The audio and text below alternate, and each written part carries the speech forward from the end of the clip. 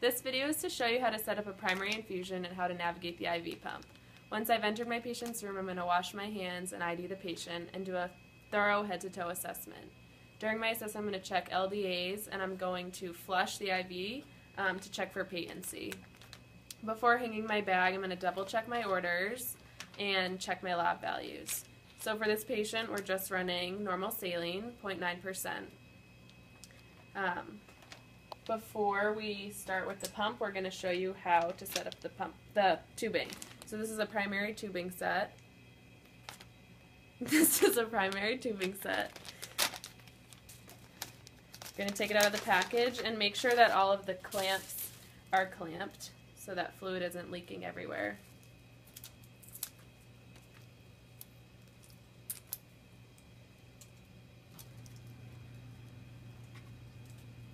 There are two different ports coming out of the bag. This one is where you would add medication, and this is where we're going to spike the bag. So you can remove that plunger. And when you take the cap off, you want to make sure it doesn't touch anything because it is sterile underneath. So once I've spiked my bag, I find it easier just to hang it.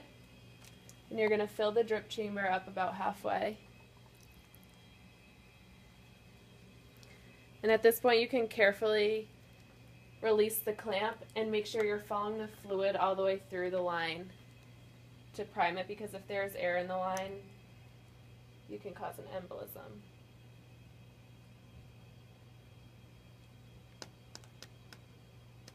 Okay. Before connecting it to my patient, we're going to set up the pump.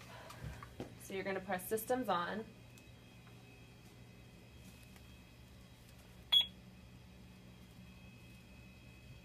And it asks you if this is a new patient, and it is not.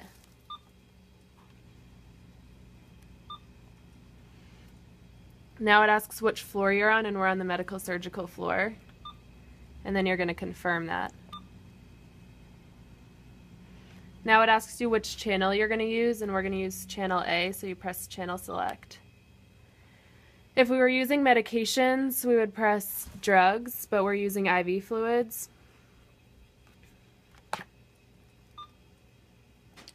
And it's going to ask you to double check your med. So we're using 0.9% norm normal saline, which is right here.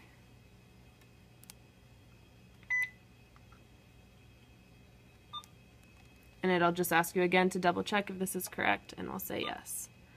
So now for the rate um, of infusion, you should have calculated that before you come into the room. If it's a medication, a lot of times the rate will be in the IV medication book if it's not already ordered by the provider. So our provider has ordered this to run at 100 mLs per hour. So you're going to select rate and type in 100. And the total volume to be infused is 500.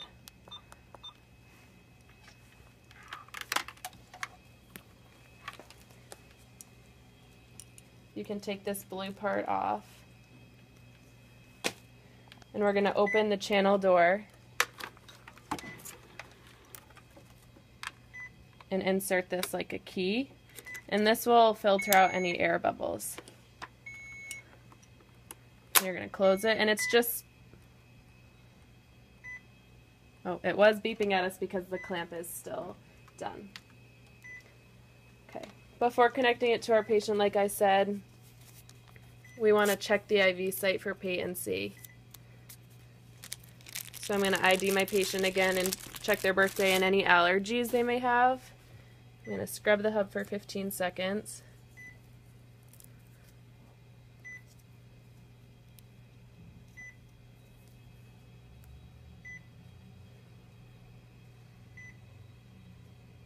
Release the air bubble.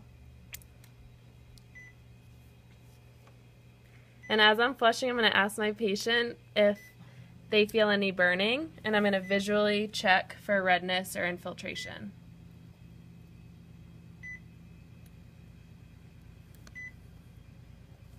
Okay, and it appears to be patent.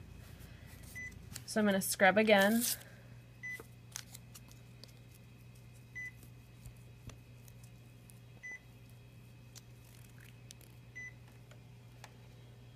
And attach my tubing, and again, I'm remembering that underneath the cap is sterile, so I don't want to bang it against anything. Okay. Now that we're ready to start, we're going to release our clamp and press start. And now you'll see that it's infusing at 100 mLs per hour.